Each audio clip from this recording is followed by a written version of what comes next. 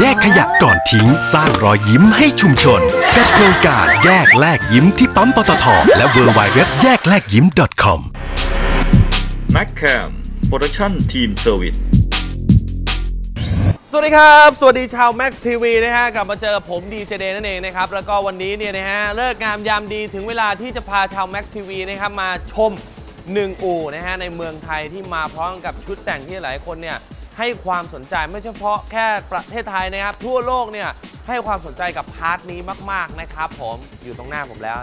วันนี้เจอแน่นอนกับ Liberty Walk แล้วก็อู่นี้นะครับ Infinite Motorsport นั่นเองนะครับ แต่ว่าก่อนจะไปดูรถก่อนจะไปพูดคุยกับเขานะครับ ไปดูช่วงแรกก่อนเลยดีกว่ากับช่วงของ Max Update ฮะ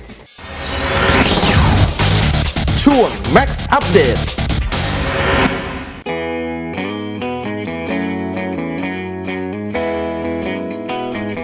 บริษัท MG c e l ประเทศไทยจำกัด ได้จัดกิจกรรม Drive for Bike ขับไปปั่น เพื่อให้สื่อมวลชนได้ทดลองขับรถรุ่น MG5 และ MG3 Cross รุ่นล่าสุด ในเส้นทางกรุงเทพประจวบคีรีขันธ์กรุงเทพ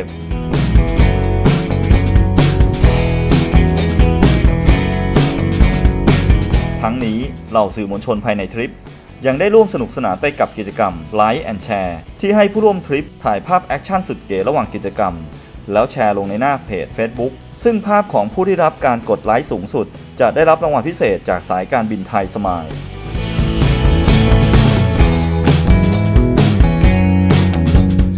โดยในทริปนี้ MG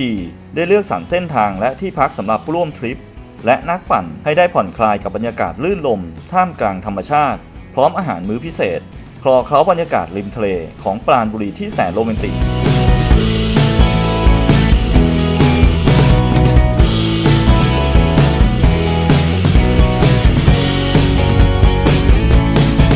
มด้วยกิจกรรมพิเศษ ปั่นจักรยานเรียบชายหาดปราณบุรี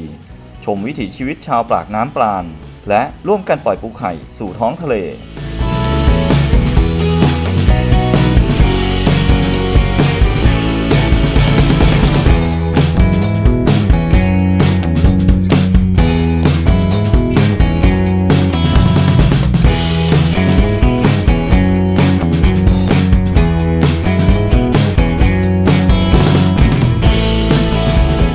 นับเป็นอีกครั้งของบริษัท MG c e l ประเทศไทยจำกัด ที่ได้จัดกิจกรรมทดลองการขับขี่ เพื่อให้ทุกคนได้สัมผัสมิติใหม่ของการขับรถ ที่เปลี่ยนไปด้วยสมรรถนะและความโดดเด่นที่แตกต่าง ในแบบ Passion Drive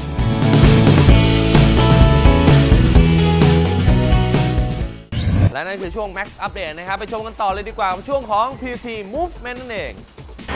ช่วง PTT Movement by Max TV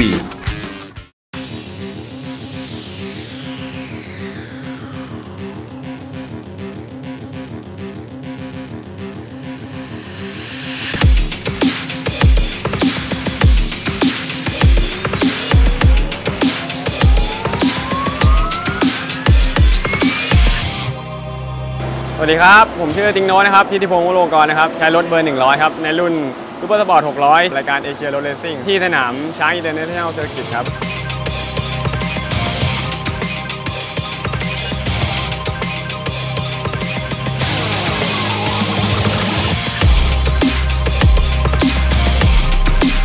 ในการแข่งขันสนามนี้ครับก่อนตอนซ้อมก็ 3 heat ก็ยังปรับรถยังได้ไม่ค่อยดี แล้วก็ qualify ก็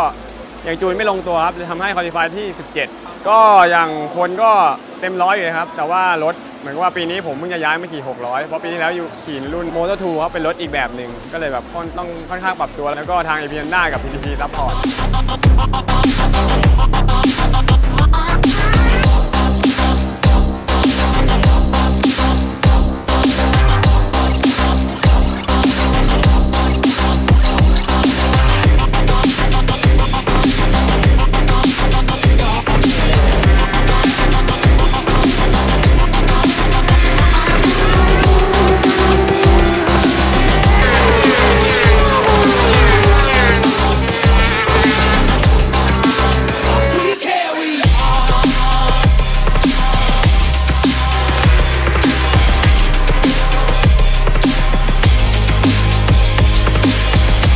ก็สำหรับเมื่อวานที่ทำการแข่งขันไปแล้วนะครับ ก็ออกสตาร์ทในลำดับที่ 17 ก็จบอันดับที่10ครับเออความพอใจก็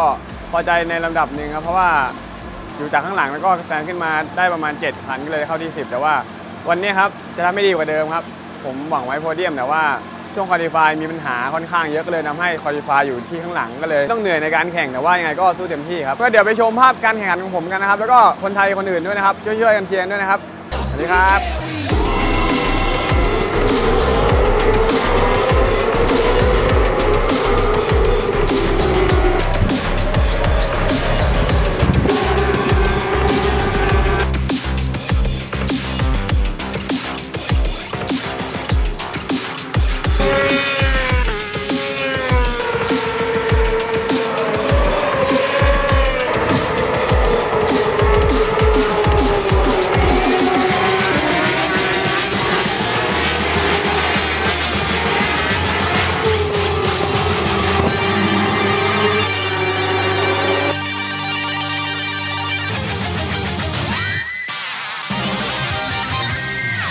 แยกขยะก่อนทิ้ง สร้างรอยยิ้มให้ชุมชน กับโครงการแยกแลกยิ้มที่ปั๊มปตทและ w w w แยกแลกยิ้ม .com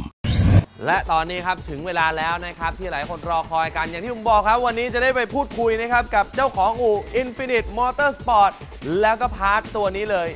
Liberty Walk ทำไมมันถึงให้รับความสนใจและมันดียังไง ความพิเศษมันมียังไงบ้างนะครับ และเห็นเตี้ยๆแบบนี้เนี่ยเฮ้ยมันจะขับในประเทศไทยได้หรือเปล่า ช่วงหน้ากลับมานะฮะได้พูดคุยกับเขาแน่นอนครับ